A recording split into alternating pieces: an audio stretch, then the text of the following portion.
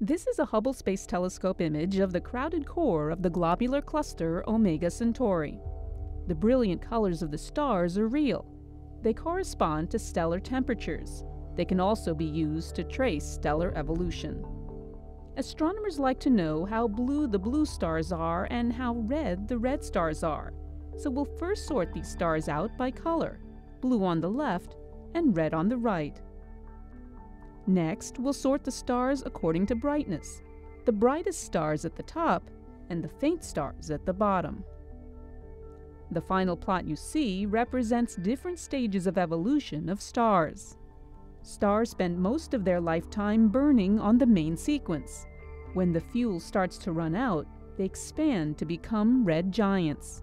They find a new source of fuel, helium, and burn blue hot, but even that runs out.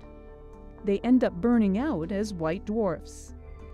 Based on images for the Hubble Space Telescope, we've assembled a true plot that is a snapshot of the life history of stars in this ancient cluster.